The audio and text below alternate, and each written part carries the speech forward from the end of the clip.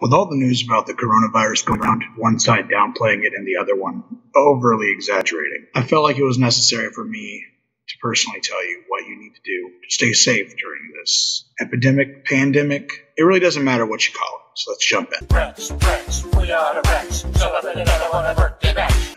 Wash your hands. First thing to remember is this is basically just a common cold, just a really strong version of one. I mean, the flu is a common cold, but wash your hands. While saying that it's basically a cold does kind of downplay it, the thing that makes the cold not a big deal is because we already have vaccines and different. Uh, wash your hands. You'll want to take basic precautions like going to the store and taking all the toilet paper, even though this is a respiratory disease and doesn't give you diarrhea.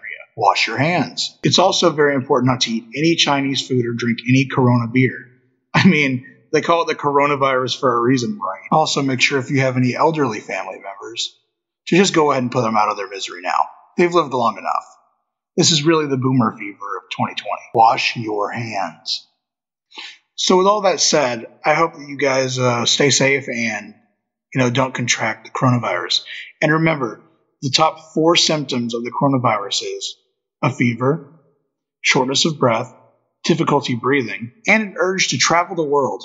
All right, but seriously, guys, wash your damn hands. You're not five years old. You know how to do this. It's pretty simple stuff. Friends, friends, we are another one of birthday. Michael, It's your birthday today. It ice cream, on its way.